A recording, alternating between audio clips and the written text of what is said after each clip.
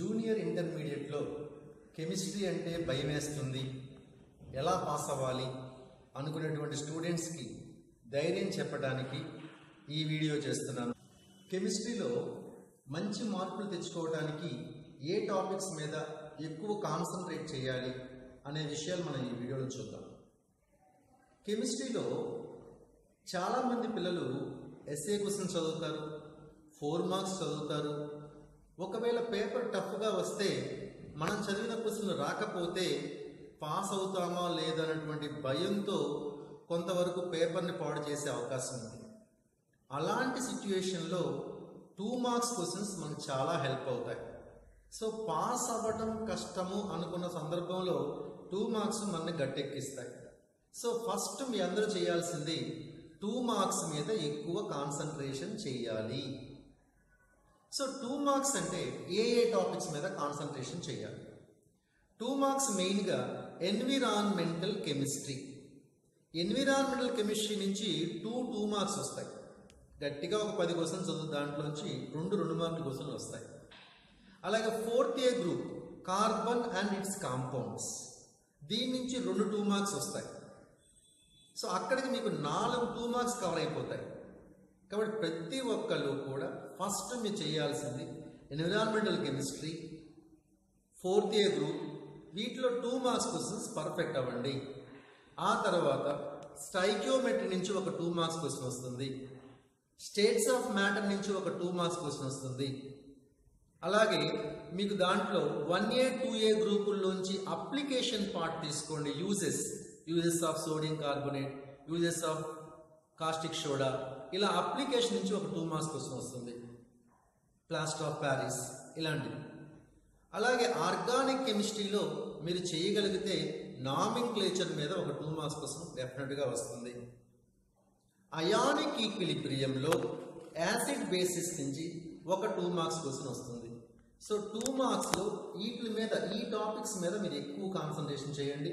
మళ్ళీ రిపీట్ చేస్తున్నా environmental chemistry అలాగే fourth A group one A two A group అలాగే ఆర్గానిక్ కెమిస్ట్రీలో నామింక్లేచర్ మీద అలాగే అయానిక్ ఈక్విలిబ్రియంలో యాసిడ్ అండ్ బేసిస్ మీద అలాగే స్టైక్యోమెట్రీలో చిన్న చిన్న ప్రాబ్లమ్స్ ఉన్నాయి టూ మార్క్స్ ప్రాబ్లమ్స్ వాటి మీద స్టేట్స్ ఆఫ్ మ్యాటర్లోంచి ఒక టూ మార్క్స్ క్వశ్చన్ వచ్చే అవకాశం ఉంది.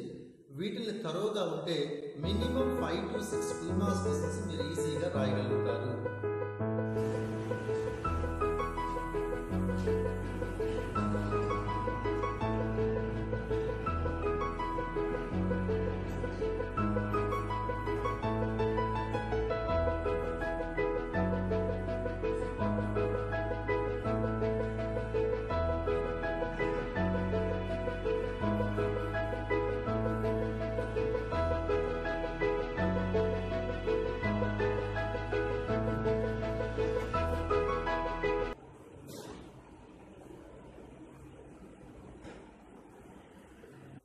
ఫోర్ మార్క్స్ క్వశ్చన్స్ వచ్చేటప్పటికి ఫస్ట్ మీరు కాన్సన్ట్రేషన్ చేయవలసింది states of matter states of మ్యాటర్లోంచి four marks question ఒకటి వస్తుంది.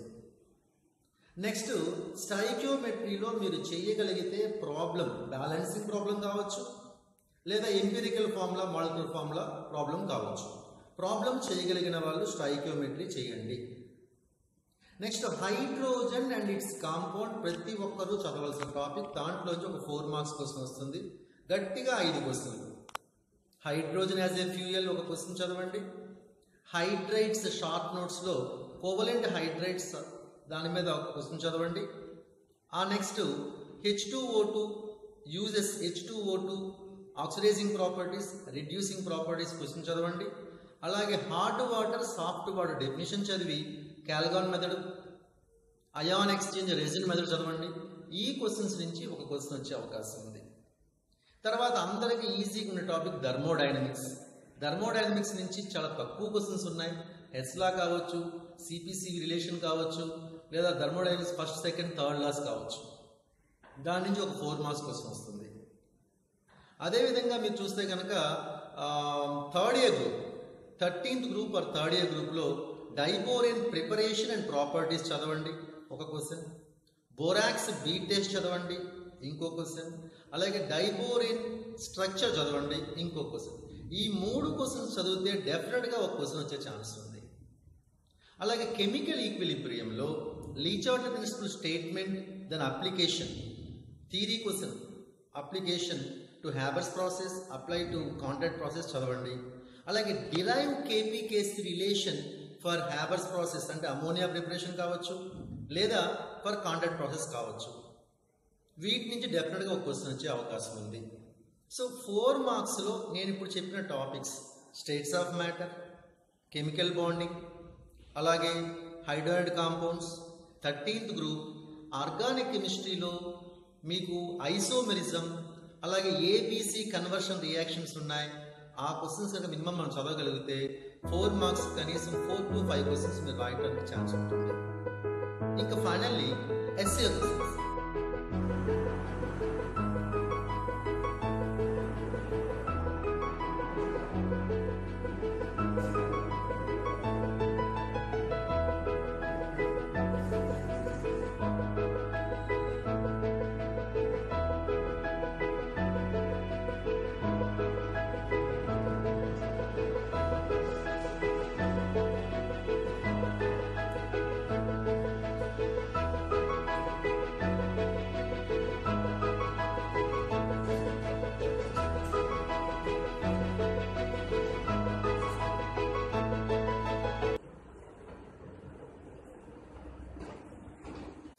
SA questions అనేవి మీకు చాయిస్ ఉంది. మీరు రెండు క్వశ్చన్లు రాస్తే చాలు. సో చాయిస్ని దృష్టిలో పెట్టుకుని మీకు అవసరమైతే కొన్ని topics వదిలేసుకోండి. For example atomic structure must and should చదవండి. Atomic స్ట్రక్చర్లో Bohr postulate hydrogen spectrum question దాంట్లో డ్రాబ్యాక్స్ కూడా చదవండి. డ్రాబ్యాక్స్ ఆర్ లిమిటేషన్ చదవండి. రెండోది క్వాంటమ్ నెంబర్స్ అందరూ చదువుతారు కానీ సిగ్నిఫికెన్స్ రాంగ్ రాస్తారు. సిగ్నిఫికెన్స్ కరెక్ట్గా రాసుకుని అది బాగా ప్రిపేర్ అవ్వండి. అలాగే periodic క్లాసిఫికేషన్లో SPDF blocks. Ionisation potential enthalpy factors influencing question ఒకటి చదవండి. పీరియాడిసిటీ క్వశ్చన్ చదవండి. ఐదు క్వశ్చన్లు ఇక్కడికి. కెమికల్ బాండింగ్లో హైబ్రిడైజేషన్ క్వశ్చన్ చదవండి.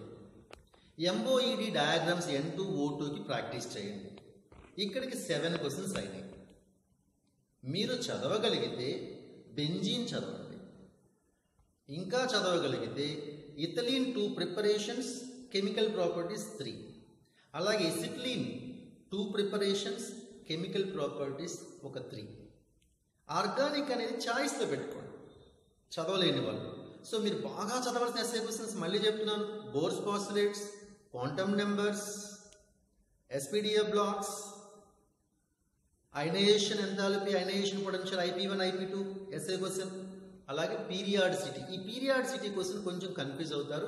పీరియాడిసిటీ క్వశ్చన్ కూడా ఇంపార్టెంట్ కాబట్టి దాన్ని ఒక్కసారి కొంచెం తరోగా అవ్వండి. ఈ ఐదు ప్లస్ హైబ్రిడైజేషన్ అలాగే MOE diagrams N two O so minimum ఇప్పుడు నేను చెప్పినటువంటి ఈ టాపిక్స్ ఇలా కవర్ చేసుకుంటే డెఫినెట్గా మీరు ఫార్టీ మార్క్స్కి ప్లస్లో ఉంటారు.